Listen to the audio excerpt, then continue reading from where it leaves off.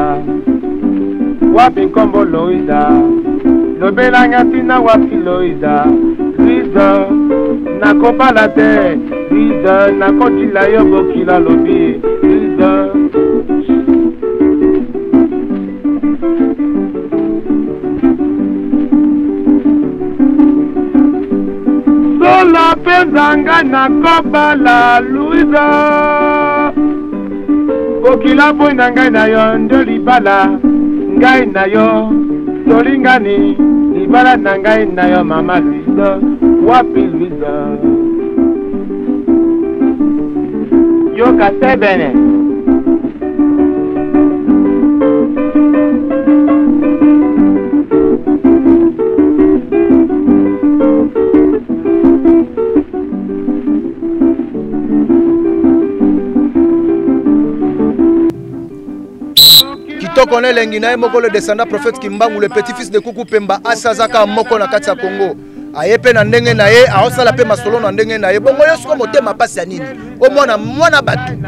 tikanga nasala mosala na nga estce yo okozala nga to nga naza yo donc ça veut dire ke soki yo oza nga te nga mpe nakuti kozala yo ata keleve donc zero katu na matoyi wana kongo eza ya biso tu zalaka na lupemba zala na ora ya makasi zala courage okozwa baloba teke zala na badiplome ebele te baloba la vie aparti au courage eh, bango nde baliaka asi akiti précisement na libongo ya rvf na bandeleli yango ti bocomprendre eh, mpo baimboka bacomprendre babengi nga naya kokitisa mikro ya fm tv bayimboka koto bakoloba bana koto bakopeselela ya ile kauka bakoyeba koexplike bino situation nini oyo bango baza nango toza na enok mafuka Eh, ye aza na besoin ya drone te kaka loboko na ye molai elakisaka deja drone dimension ya drone naa na besoin kaka bolaike kaka boye émission na bino le peuple s'exprime na ye moko ac partout akitaka toujours bapesaka ac video video bokomona mpe bavideo ya kitoko na elengi enok mafuka emission se ebandaki ti toleka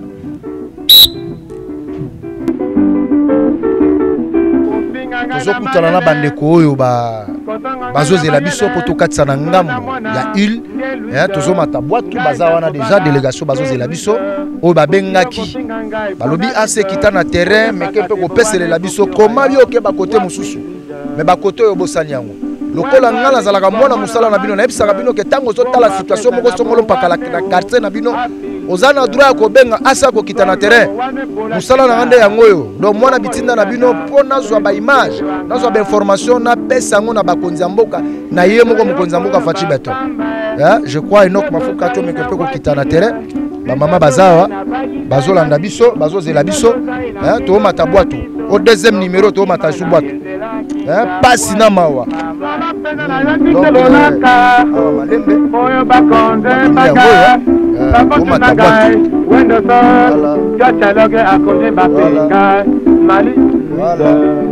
komi marie mama yeyo abengaki biso toye epa na ye mbote mama mbote papa hmm. biso oyo obengaki na fm tv eh, eh, biso oyo toye na fm tv obengaki fm tv toye bosenga eza nini boye koyamba biso awa eh, biso tobengaki bino mpo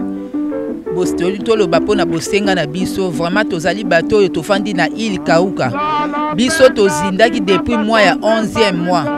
donc tozindaki biloko ekendeki epuis bana mosusu bakufai meme na kati ya bamai tozwaki meme baka ya bana bakufaki na bamai biloko nyonso ezindi totikali bongo rvf eye kosunga biso bapesi biso ndenge tozofandafanda na bamasuwa mm -hmm. toabandone bandako bisika toza na ili esika omoi tozomema bino kuna mm -hmm. yango totali toyebi biso mpe toza biso toza bapeuple congolais biso tovotaki président faci mm. tovotaki ye massivement na, na, na quartier fleuve mm. mais tozomona mpasi oyo biso tozomona tovotaki chef de l'état mais tomoni baninga biso bazobénéficie bamasungi mais biso epai na biso eza te visite eza te yango wana tomonaki ke tika tobenga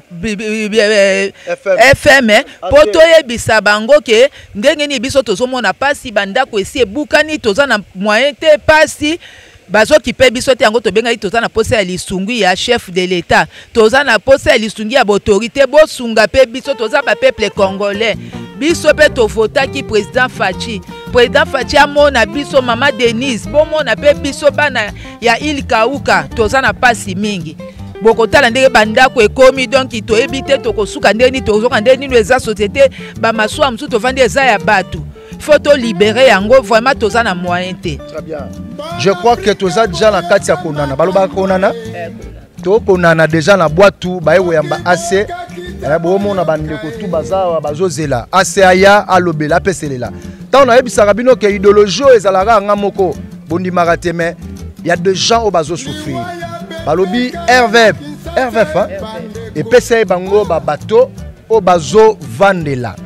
eh? mais d'ici là faut baluka bakite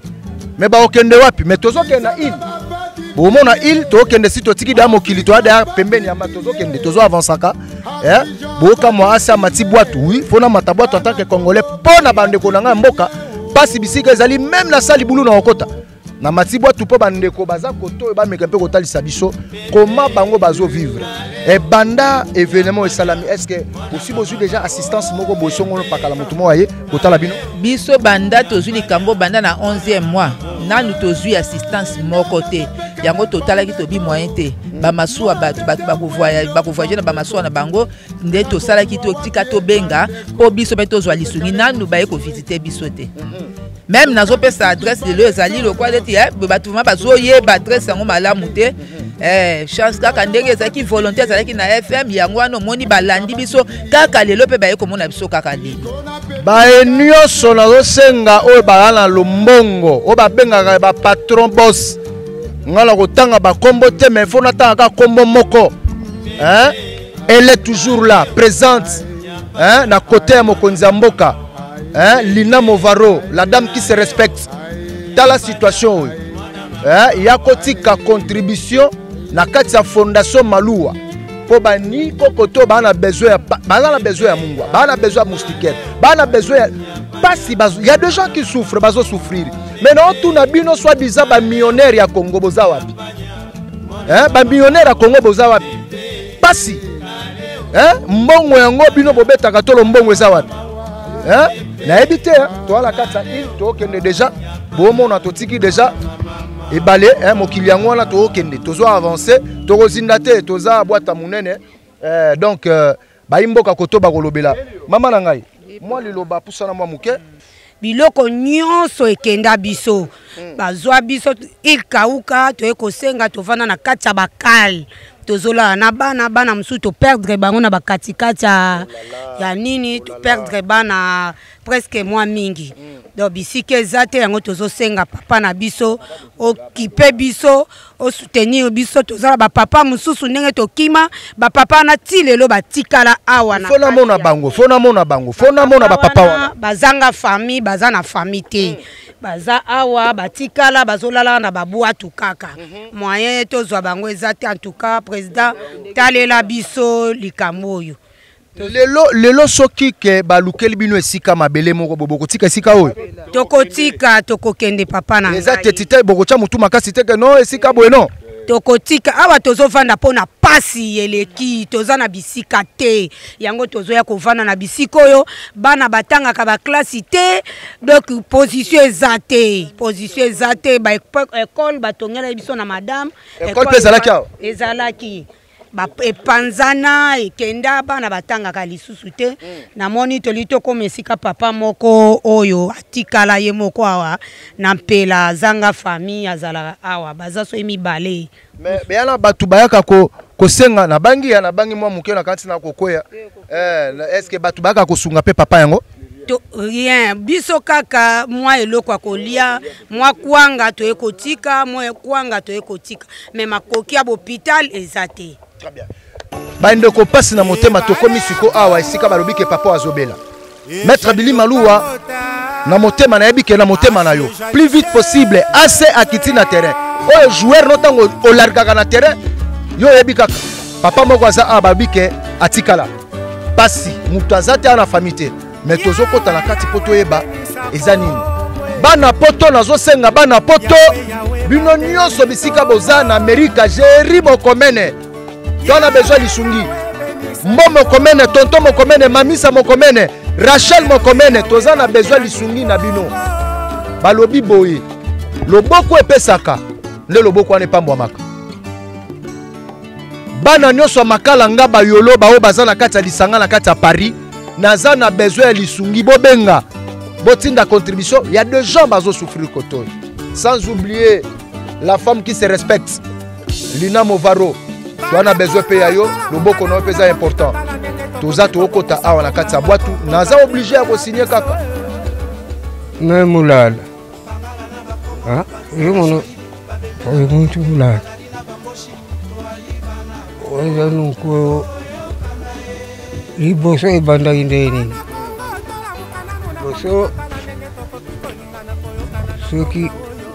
moto alamuki na pongi omoni fatigue oyo toyokaka ah, ah. oyo ebandeli olie eloko osanzi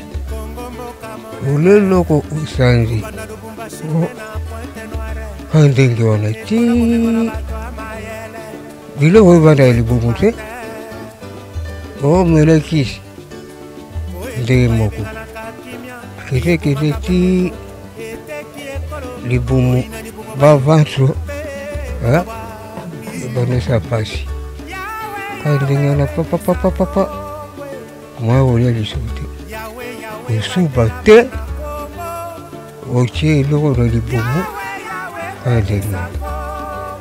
ti nabanza nasali presque deux semaines deux semaines kutu moke naliaka te naliaka te ole osanza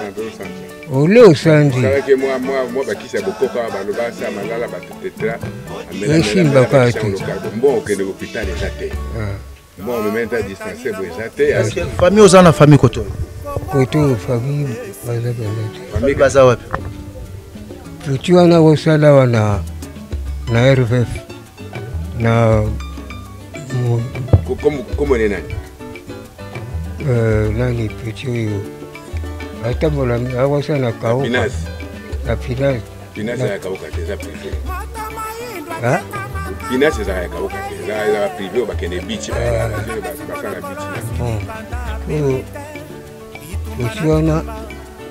abandi kosala heure moko na masuwa kauka wana connaissance na moko sekia ayaki par hasard mpe toyebi ah. atika numero ya telefone te eloko moko te atika mpe adresse na ye ya ndako na cité te awaka biso tosupportaka ye osome mwa kisi okotika osome mwa lipo oye otikeli ye me ndenge ezali awa fo azwa bazwa ye en charge babima na yake na hôpital azwa ba soin ya, ya bien akobika me moto akobikisa ye aza te aza moto ya kasai oriental moto ya mbuji mai eh, bayi mboka congo mai ya miso etamboli nga babi baza mibale bomoni moko tozokende so esika moko fondation maluwa kisi fondation maluwa maître bili maluwa mwa elamba mousse papa azolala na mabaya na mabaya Lina Movaro, j'ai confiance à toi. N'a la confiance. Passe na motema. Yo moto oza na ndako climatisé. Nayebi te. Est-ce que boko longo la population te? Boko yebisa nga ke Congo to Kinshasa ezangi mabele akopesa population. Ba accepter. Babi ke soki l'État na biso elongoli elongoli biso awa. Awa totiki yango vide. etangu eh, pe bango bazo longwa awa mutu moko pe azonga susu awa te bakoya musala kopeshe bazongi na mabele na bango mokonzi ya mboka deuxième mandat bapesaki yo nayebi wa mwana nga nayebi kwa mwana kishasa awa balobi ke bavotaki yo massivement 200 pourcent bavotaki yo toke tala lisusu papa mosusu aza awa okopesa information nini na mboka na yo information topesi mwa bainformation ebele na kati ya mboka mpona makambo ya bastressio eh, chaîne moko eyaki mpe awa univers tv bato bazwi baimage na inondation ndenge ezalaki mai tomoi résultat moko eza te basiti mosusu bapesi bato force na mpe bapesi makambo ebele tozwi baka bamort doma trop na bamai bana mike kobunga mwana mosusu abunga ya 9 mois ti lelo amonana te mokolo mpe auti kokufa ya 22 ans touti okunde vendredi passé awa siko baka mibale yango toza na yango population tomoni likolo ya babarge oyo to bazalaka a na kilo toza euh, d'habitant toza ba 2130 2130 d'habité na ile oyo tozali na 265 maison oyo ezali awa suka ti suka ndako na ngai oyo oh, kotomona drapo ya congo na drapo idps fo tokoma mpe kuna eh, wana résidence na ngai yango wana place ya chef yango wana makambo nyonso to ezali me tolobi mingi soki bokosunga eza malamu mpo tolobi deja mingi mpenza bino mo bomoni bosunga biso na lisolo mpo toyebi place tokovanda lisolo te na meti eske lelo soki bapesi bino mabele mpo tozala mpe mwa bosembo mwa franc lelo soki bapesi bino mabele bokolongwa na kati na esika oyo awa kolongwa eza na facile transport eza nango ebele eza nzela mokili eza nzela ya pete a tobima tokende ba misusu baza bandeko bakeba bandeko na bango me baofanda bien te kofanda mpe bandeko na minisi eza problème atiki bana deux jours trois jours problème azongi awa place ofanda eza te soki place ezali tokokende na pete nyonso tu mpenza tokokende une semaine eza ebele mwa mpenza etikali polele mosala kaka bakoya peshe ya esika bakobomba babwato batie bayaka peshe le reste mpenza bato bazali soki te oyo chef ya localité ya mboka quartier fleuve na, na ile kauka nde toza na bango awa quartier fleuve na commune ya gombe dixième quartier na kati ya commune ya gombe je crois que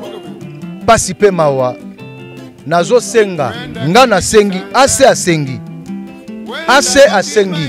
na bana kinshasa nyonso nalobi bien na bana kinshasa nyonso bana mongafula bana ngaba bana makala bana yolo bana lemba bana kingasani bana masina bana gombe esika nyonso esika obengami congolais pekinois de naissance esika ezalaka moko to wana bezo ya kopo na bino mousse papa wana azola na mabaya mousse na yo kopo na yo kisi surtout moustiquaire esika eza moko aveni saint christophe numero 14 29 esika oyo biloko nyonso tozosangisa na ntango ekokoma pene ya kokende kotikela bandeko na biso tobengi na lokoto ya palase basinistre nde tokoya kotika kokabola yango ezosala mpasi chef de l'etat bato baza nzinga nzinga ya mokonzi ya mboka bamabele eza ebele na maluku botikala kotekela baétranger bamabele wana bozwa bamabele bopesa bana ya mboka étranger moko akoya kopesa mwa 2000 dollars mwa 3000 opesi me pesa bana mboka mabele toza na chef ya quartier akosala liste bamakambo foto asefa alandela makambo ntina suka mosala oyo biso topona to mosala oyo nkolo apesa biso ya koloba il faut toloba toye kotala lisusu papa mosusu aza awa azobela eh, bozo comprendre baka yango sikoyo ntango ngai nazobeta mbele mbelela nazosenga bosengi na bino ke boya kosenga biso boya kosunga biso ekozala malamu na bariske ya boye asi azotambola fo ezalaka fmtv na ye moko le desanda tantini wendo eh. nasi wendo yeye papa bernard ça fait combien de temps malade des yeux presque 4 mois ba 6 mois ba 8 mois okoma Ni ebandi ngai ti jusqu'à lelo omoni ngai nalali kaka boye kaka awa mwa famille ezali naza na famille mama mona azali naboti ye azali bokilo mpe azali Mimi tozali na famille oyo mpe tozali na yawa kasi ekokaki kozala nini hmm? mosenga na yo eza nini mosenga na ngai mosenga na ngai ezali kaka traitement na nzoto hmm? maladi ezosala yo moto vraiment ozaka na ndako ti Jusqu'à lelo traitement ya malonga eza te yango nazomona ifo eza bosenga ya traitement na nzoto ye ayaki epai ya bokilo na ye bokilo na ye tala kaka possibilité eza te lelo papa oyo avandi awa depuis 8 mois ya maladi tozalaka ndeka na ndako alors mwana komi possibilité ya te yango tolongolaki ye ndako ya bokilo na yango wana toyaki kotia ye awa epai na biso mpo tozalaka na ye esika moko soki mwa kolisunge yali totyelake bamaboko na ndenge afandi na biso te pela mobimba lokola pela ebandi te makambo nyonso esalemi na pela awa papa oyo afandi kaka awa donk eh, bana mpenza moye ya koya kosunga papa obe traitement obe likambo mosusu eza te mpona na mitunaka nalobi toza na planète nini soki toza baafricain toza bacongolais tolakisa yango na bolingo tolakisa yango okobenga mpe biso na minute oke no nazwi papa ozwi bapapa en charge okoti bango na hôpital Le créateur, Nzambe Ampungu, le Dieu tout-puissant qui n'a ni commencement ni fin, le Dieu invisible, aopambola yo. Descendance na yo ozala malamu. Bambongo oyo oza nango nayebi te, oza ya nini? est-ce que eza ka oblige toza ka oblige fo tosenga nkombo ya motu moko bosongolo mpakala ka image oyo ekolobela yo te tozala mpe na mwa motema ya bomoto tobengaka metre bili bongo soki aza te yo okozala bili, bili bisi te to de te mosala yango tosali contribution yango tosali fme ye babengi toye toyei komona baka oyo lolenge population esili te tozokende lisuku bomona lolenge de gens oyo bazosouffrir population na bino oyo bavotaki bino badepute bango yeyo awa est ce que bokolobela bango nao te si to balongola yango bokomisa yango nayebi te soki bokomisa yango nini mbongo eza na mboka oyo na niveau ya moke te nga nalobaka yango nakosaka te nalobaka yango ke lelo ata opesi nga canada na okende te mais soki oyebisi nga fanda na kongo nayebi kenda kongindela awa parce que ya tout bapapa mibale oyo bavisite ma etikali mama moko ye nde aza na kati boye mpenza mama wana mpe maladi makasi moyen mpe adeplace eza te ye nde atikala na kati kuna kaka kote oyo toza mwa liboso ya boye azali na direction kaka oyo tozali oyo bokenda kotikela ye nini nani akendaka kuna kosala sacrifice wana eh, bato kaka totalaka ye bato batalaka ye okende kotala ye bisika aza mpo atikala kaka wana azali ok eh, mais ezosala mpasi esali mpasi mama estce bamama na mboko baza te bamama ministre baza te naboyi kotanga bakombo Est-ce que ezala ba mama oyo misusu ba konzi ya baza te baza? Est-ce que boko sungela nga mama na parce que na yebite to kokota kuna ndenge nini? Eh poto tala mama wana na yebite. Eh do bois tu faut ezala mukie. Hmm? Po baluka bakota na mama mama mukolo. Oyo abimisi yo na nga na se na moyo. Eh? Est-ce que moi ezate akosunga? Congo bolobaka ke Congo pays moko riche na minerais makambo nyonso eske moyen eza te ndenge eza wana lala besoin lisungi na bino adresse eza moko bobenga ase bobenga biso biso tokokita wana eh, kongo eza ya yo kongo eza ya nga kongo eza biso nyonso mbongo yango bokenda kozwaka bokesomba bandako na bapoto natuni nani oyo alingi nayebi te mbongo yango kaka bandako kaka kuna ngai na bande suku kaka kuna Je ne sais pas. Anok Mafuka. Ceci trop. Toza toko bakase kokoba. Merci. Ya. Bayi mboka bolanda biso nazosenga na batantine na bamama lokola ba bert moleka eh? lisungi to wana besoin masungi to lisungi na bino nyonso eza kaka lisungi na fondation marie helene movaro ase azosenga lisungi na yo yaka na fondation ya koleka na le peuple s'exprime otala lolenge bayi mboka koto bazosufri bamisu babaye balobi ke bachaine na televizio ezoya ebele mosala mosala te bazomona te me biso tolakaka te me tosalaka kaka surprise FMTV ekiti na mabele na ye moko le descendant prophète Kimbangu le petit fils de Kuku Pemba toye awa nazosenga na yemei la femme qui se respecte Lina Movaro masolo nde eza masolo eza epa na yo yo oyebi ovandaka na ye mei numero 1 otambolaka na numero 1 numero 1 faci beton eh, assistante prive ya chef de l'etat lina movaro asi azosenga kaka keno yaka bobeta masolo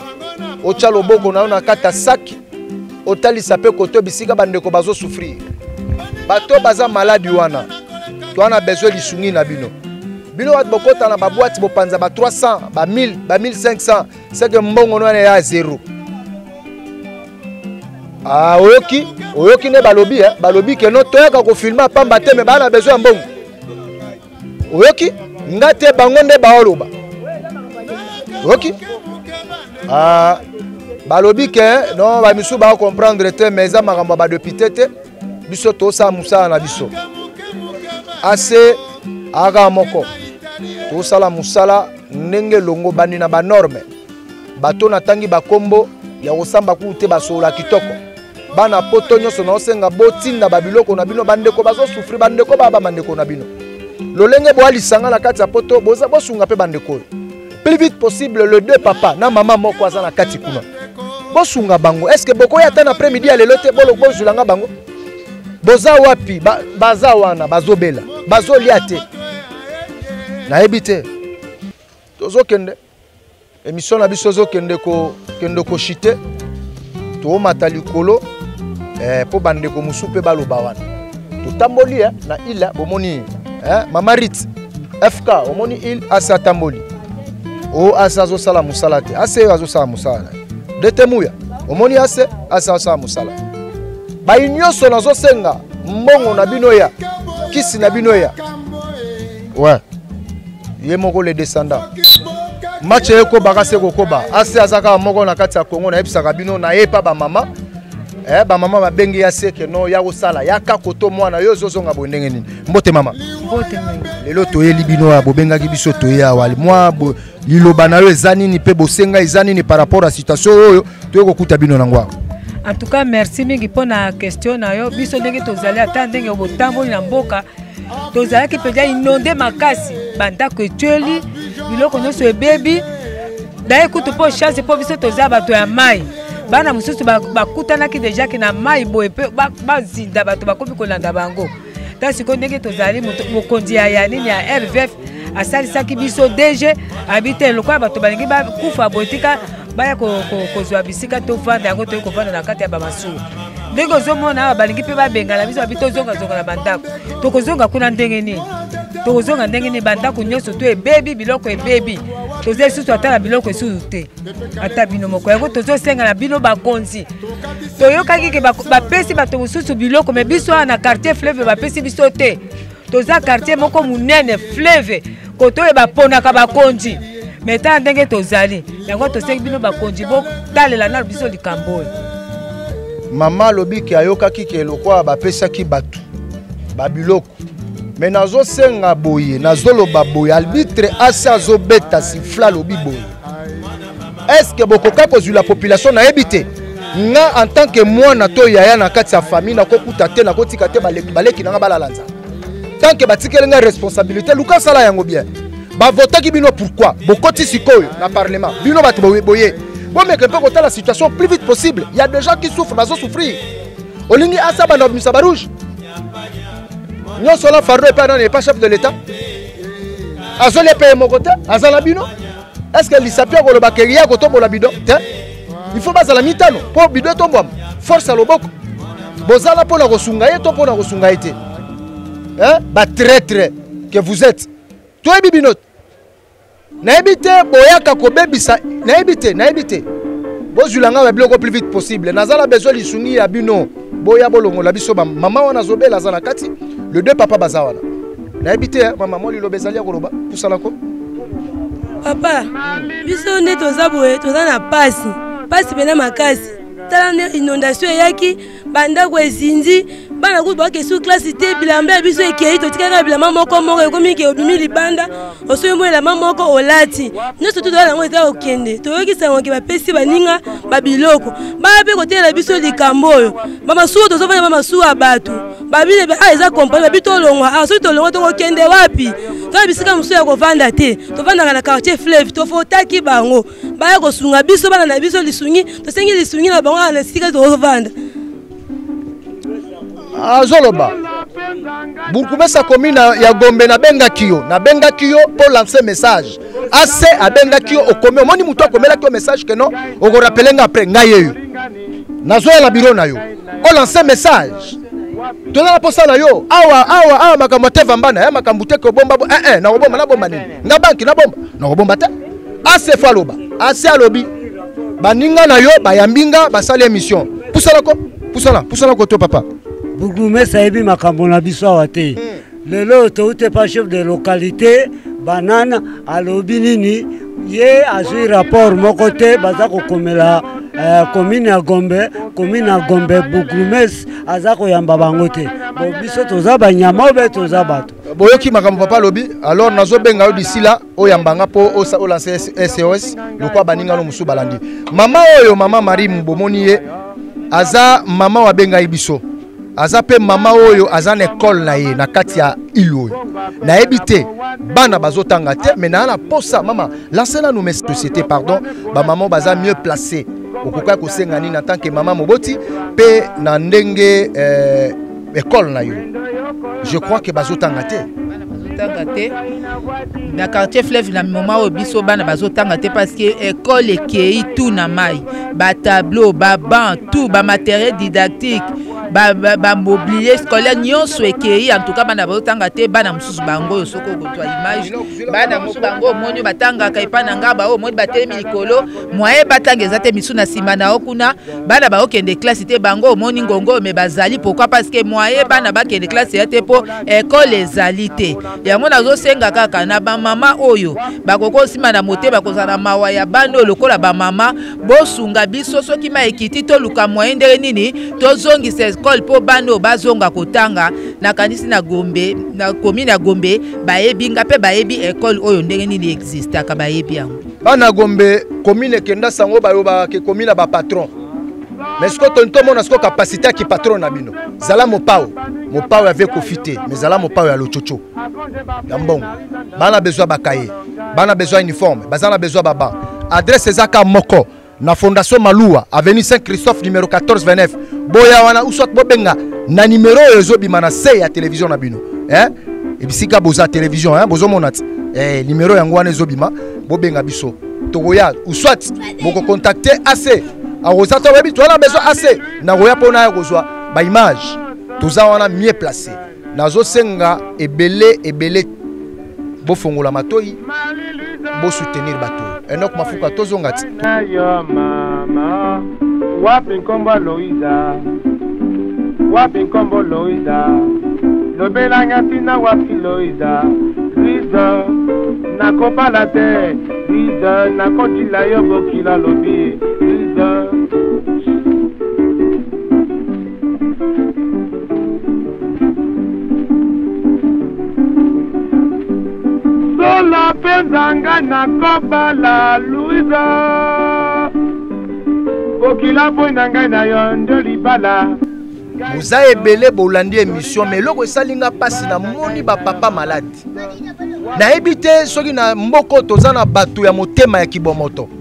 nayebi te na kati ya ville province ya kinshasa so toza na bato bazalaka na mawa ya bato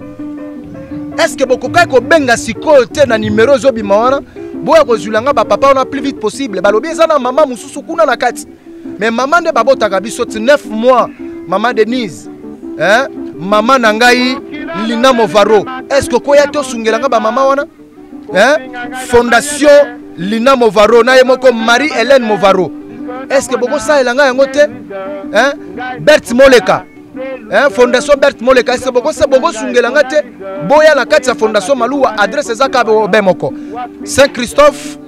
1429 boya kotikela biso babiloko mpo te bayi sinistre koto baa na besoin na yango bozomona lolenge bana mama oyo aza mopanzi na ngai bamama oyo batangisaka bana bazotanga te me bana na bino baza na bauniforme na ndako bokoma kotumba bilamba te to na besoin ya bilamba na yaka bandeko baa na besoin na yango mbongo bozoganga mbongo bozosomba bandako na poto nazomona yango te balobi ke moto oyo akabaka aza na bolingo ya kokaba ye wana nde aza na mbongo ebele yo soki okabaka te nayebi te motema nini oza nango ya pantere to ya leopard botika okosela mpe leopard ya bato leopard aza nde nyama me tozwa kaka totema wana tolata yango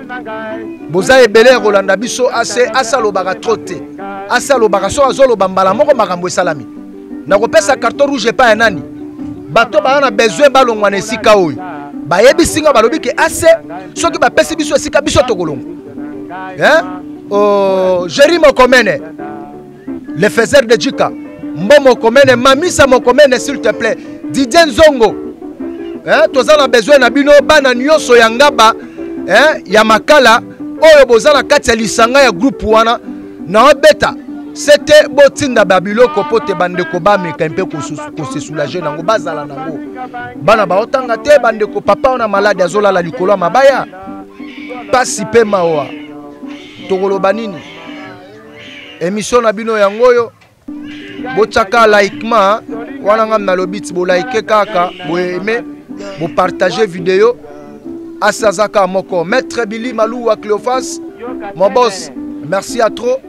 eh, joueur yeyo alembaka te chef d'état major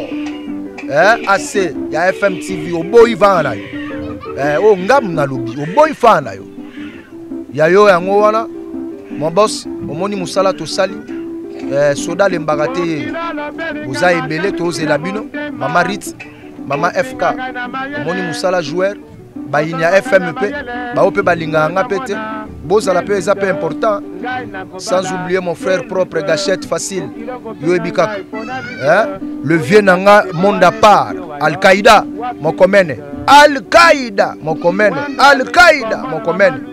oza ja na mabele ya lisungi fm ezozela yo na mwa enveloppe na yo kosala mwa bien emission na biso esiliti